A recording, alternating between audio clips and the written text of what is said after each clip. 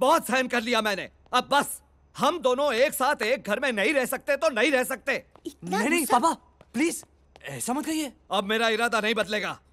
अच्छा मेरे लिए नहीं पर माँ की खातिर तो ऐसा मत कीजिए। किसी की खातिर भी नहीं। शारदा कह दो इस लड़के से मेरा इरादा नहीं बदलने वाला। पापा पापा प्लीज़ मैं हाथ जोड़ता हूँ। तू चाहे पैर पड़ ले मेरा फैसला फाइनल है। हम साथ में नहीं रह सकते।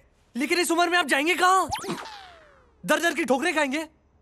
आपकी बूढ़ी हड्डियों में ना जान है ना आवाज़ में दम।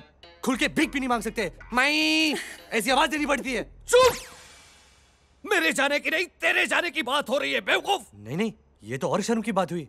लोग क्या कहेंगे? क्या कहेंगे? यही कि लाचार बूढ़े माँ बाप को अकेला छोड़कर जवान बेटा बाहर ऐश कर रहा है? ए तू क्या ऐश करेगा? ऐश करने के लिए भी कैश चाहिए। निकम्मा एक पैसा कमा नहीं सकता। ऐसे बेटे के तो होने से ना होना बेहतर है। ए पापा! आप बेटों की इंसल्ट कर रहे हैं। मत भूलिए।